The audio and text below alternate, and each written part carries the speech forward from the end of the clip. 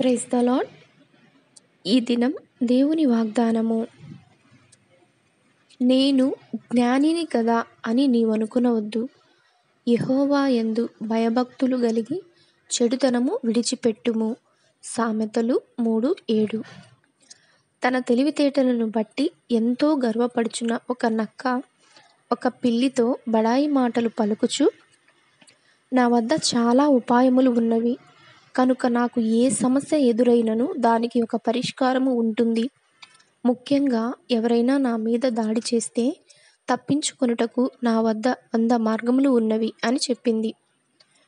పాపం ఆ పిల్లికి కేవలం ఒకే ఒక ఉపాయం మాత్రమే తెలుసని తెలుసుకొని గర్వపడింది.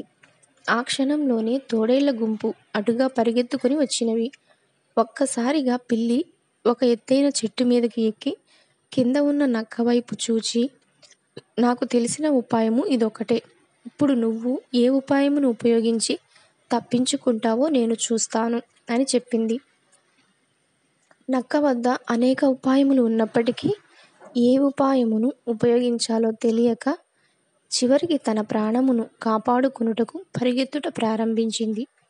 కానీ అప్పటికే చాలా ఆలస్యమైపోయింది.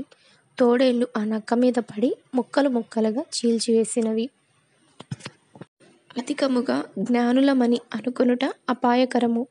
అటువంటి వారు నా పనులు నేను చూసుకోగలను. నాకు అన్నీ తెలుసు. నాకు దేవునితో పని లేదు అని గర్వపడుదురు. కానీ ఈ తోడేలు వలె సమస్య అకస్మాత్తుగా వచ్చినట్లయితే వారు తమ గర్వమునకు బలి కావలసిందే. స్నేహితుడా దేవుని యందు విశ్వాసము కలిగి ఉండండి. మీ ప్రతి శ్వాస నిమిత్తము ఆయన మీదనే ఆధారపడి ఉండండి. ఏ హాని మీకు కలగదు మీరు స్థిరముగా ఉండెదరు. ప్రేమగల తండ్రి నా చదువు ధనము తల్లిదండ్రులు మరియు స్నేహితుల నిమిత్తము కృతజ్ఞత గల హృదయముతో నేను నీ చెంతకు వచ్చాను.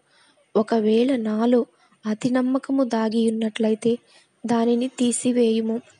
నీ యందు విశ్వాసము కలిగి ఉండుట ద్వారా దీవెనకరముగా ఉండుటకు సహాయము చేయుము తండ్రి.